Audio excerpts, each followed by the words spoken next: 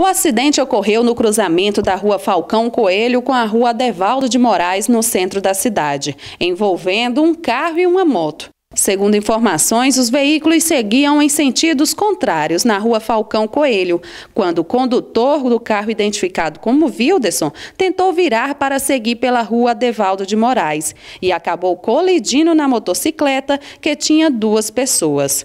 O condutor da moto precisou de atendimentos médicos. A vítima foi identificada como João Ribeiro, de 47 anos de idade. Ele foi atendido pelos profissionais do SAMU e do Corpo de Bombeiros e encaminhado ao Hospital Regional de Araguaína com suspeita de ter fraturado a perna esquerda.